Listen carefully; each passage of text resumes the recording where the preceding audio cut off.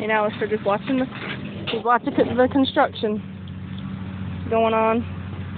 He'd much rather watch this than be in the pool because he can't see it from the pool.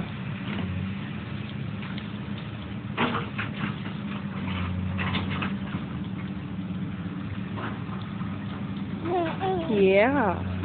Yeah. Yeah.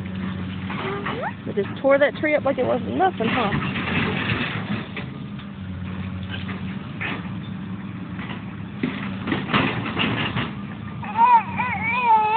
Yeah. Nothing left, huh?